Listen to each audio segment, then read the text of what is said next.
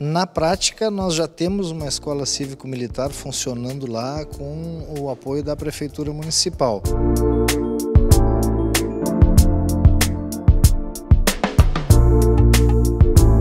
Ah, com a desistência de uma escola lá em Rondônia, o ministro-chefe da Casa Civil disse: Olha, nós temos aqui uma escola cívico-militar que vai sobrar. Então nós não podemos deixar sobrar uma questão como essa, né? Mas já está com toda a estrutura pronta, já está com o pessoal qualificado, já tem uniformes comprados, né? Então pronta para receber é, e faltava esse ofício, essa solicitação do governador e é o que eu estou fazendo agora.